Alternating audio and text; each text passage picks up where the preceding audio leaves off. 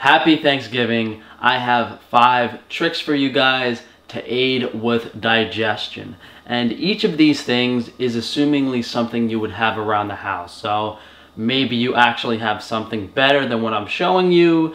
Maybe you might not have it, but let's get started. These five are actually in the order that you would take them throughout the day. So we'll start with yogurt.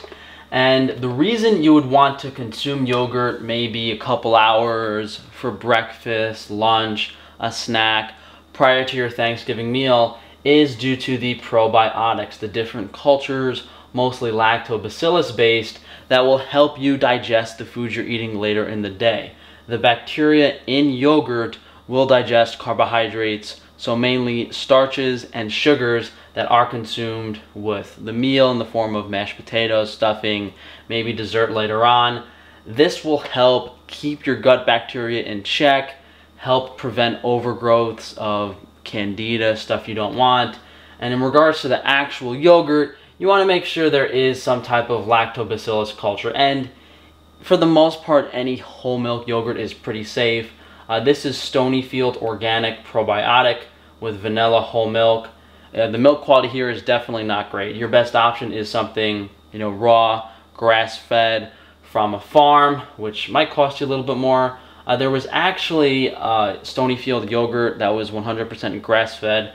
That was like twice the price for half as much, but the ingredient list was much better. The only thing in it was, you know, organic whole milk. This one has sugar, vanilla, pectin, lactase, as well as vitamin D added. So it's definitely not terrible. It's probably better than the yogurt that most people have in their refrigerator. But, you know, if you do have something in your fridge that is a dairy culture, it could be kefir, it could be buttermilk, it could be even some types of cheese will have bacteria that is conducive to digestion later on.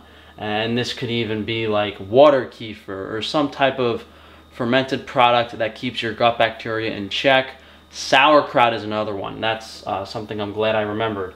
So if you have sauerkraut, that's something else you can consume prior to the meal to aid with digestion. So probiotics, very helpful for keeping gut bacteria in check, aiding with food digestion. Something else that aids with food digestion is lemons. Here I have a bag of organic lemons, and you know, just like we're assuming most people are gonna have some type of yogurt or probiotic dairy product on hand, a lot of recipes call for lemons. If you don't have lemons, what we're looking at here is enzymes, and digestive enzymes help break down the food.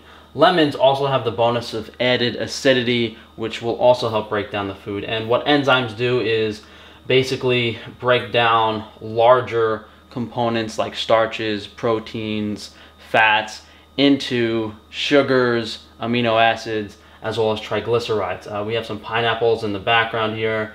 Pineapple has bromelain, which is another type of enzyme. Uh, you could have some broad spectrum digestive enzyme supplements. Uh, that would be a much better, more effective option here. But again, we're assuming it's what you have on hand. You know, just like uh, really high quality sauerkraut or perhaps that raw kefir from a local farm is going to be your best option the best option in regards to the enzymes would actually be a very strong digestive enzyme supplement, but lemons are decent. What you would do is have maybe a quarter cup to half a cup of lemon juice with the meal right before the meal to help break down the food. Uh, the one thing to keep in mind though is that lemon juice is very corrosive, so you definitely want to use a straw or try to swallow it down without it getting too much on your teeth. Now our third thing is actually what we're not doing. This is an empty glass and if you drink a lot of liquid, if you drink too much water with your meal when you're digesting, if the water content is very high, that can dilute stomach acid, which will in turn prevent the enzymes from breaking down the food. So if you can avoid it, you know, drinking excessive amounts of liquid with your meal, try to keep it about an hour apart and I mean, overeating is probably more of a concern than avoiding water. You know, you're better off drinking some water and having a small to moderate sized meal than just completely stuffing your face. Because what's going to happen is if you eat very large amounts of cooked, processed, heavily heated food, you're going to get very thirsty and probably in turn drink more water than you should. You know, the probiotics, the enzymes are also kind of alleviating that possible issue. Now, after the fact, there's a couple of things you can do uh, to help you out depending on what's going on. So, one thing we have is magnesium, and magnesium is commonly sold as a laxative.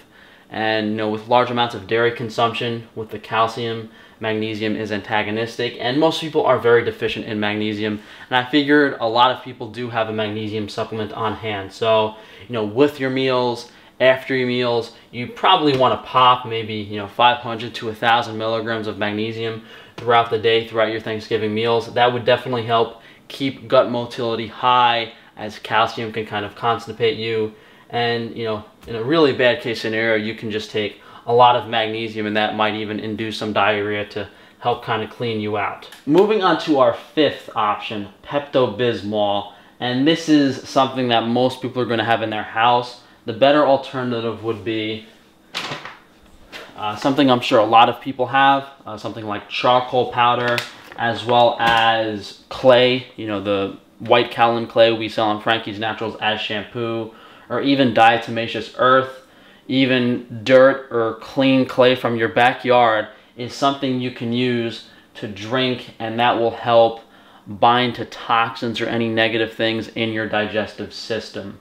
The unique thing about Pepto-Bismol is bismuth subsalicylate, which actually can kind of go into the gut, break down the mucus, break up the bacteria, and it's more effective. So if you were to take something like Pepto-Bismol with heavy antimicrobials, like combine it with lemon juice, magnesium probiotics, it, it magnifies the effect basically.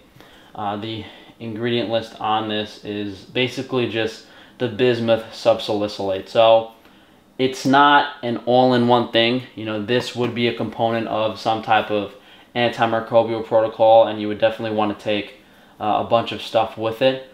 Uh, but, but it can be helpful if it's all you have access to if you need something in a pinch. It's definitely more effective if you take it like towards the end of the meal or right after the meal. And if you have to kind of wait for this stuff to go through, it, it might take a little while. And, above everything, guys, just make sure you avoid foods that you know give you issues.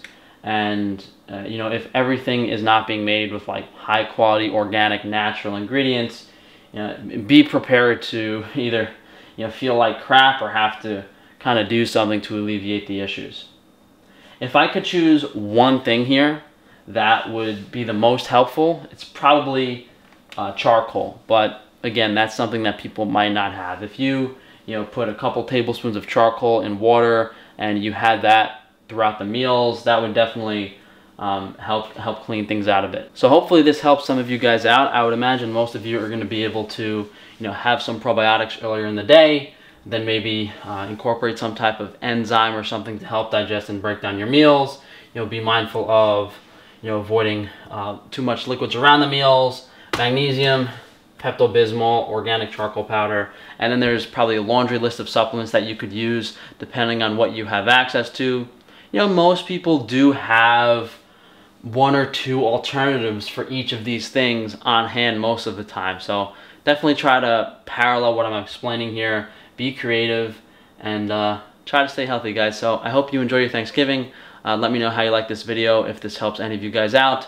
But if you do want to support me, please just you know share the video on social media drop me a comment down below like the video and uh, if you do want to support me further than that you can go to frank-tufano.com we have a bunch of things ranging from Frankie's Range Foods my other businesses consultations and you can also get my book.